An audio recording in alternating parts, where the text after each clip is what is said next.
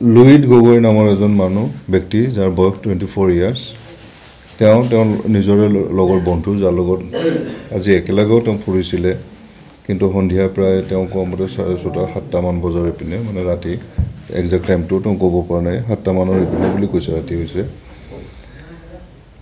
তেওঁলোকৰ ঘৰত আহিছে একেলগে তেওঁলোকে ড্ৰিংকছো কৰিছে বুলি কৈছে।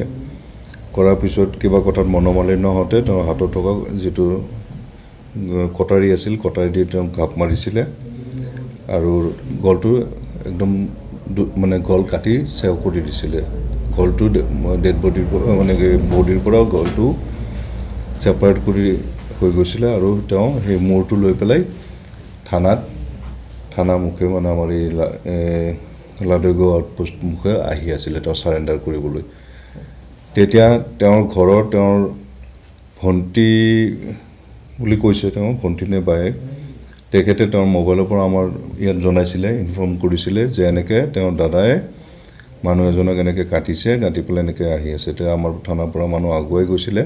আৰু আমাৰ থানাৰ পৰা যোৱা ষ্টাফক দেখা পাই এই একৈছজনে মানে মাৰ্ডাৰাৰজনে তেখেতে আমাৰ পুলিচৰ গাড়ীক ৰখিবলৈ মানে ইংকিত দিছিলে ৰখাইছিলে ৰখাই পেলাই তেওঁ তেওঁ কি কি কৰিছিল তাতে বিৱৰণ দিছিল যে তেওঁ এনেকৈ এনেকৈ মানুহ এজন মাৰিলে। তাৰপিছত আমি তেখেতক আৰু তেওঁ কটা মূৰটো চাইকেলতকৈ লৈ আহিছিলে। লগতে হয়। নামটো কি কৈছে? যোনজনক মাৰিলে। যোনজনক মাৰিলে তেওঁ তাৰ বন্ধুৱে হয় সি কোৱা মতে তাৰ নাম আছিল ফাই। ফাই। বুলি কৈছে। ঘটনাটোৰ বিৱৰণ কি বুলি কৈছে? কি কাৰণে হ'ল কৈছে?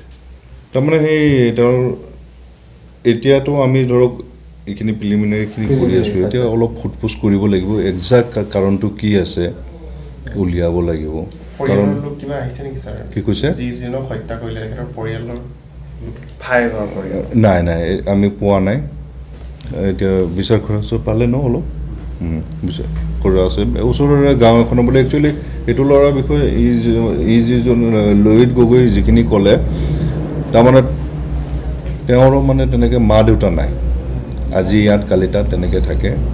মা দেউতা নাই একদম ক্ল'জ ৰিলেটিভৰ তেনেকৈ নাই বুলি কৈছে। দূৰ সম্পৰ্কীয় আছে ৰিলেশ্যন আমি এইখিনি চাই আছোঁ। আৰু যিহেতু ৰাতি হ'ল এইখিনিয়ে তেওঁ ক'লে। চাওঁ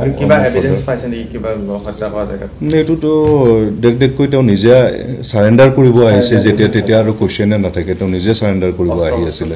হয় পোৱা গৈছে।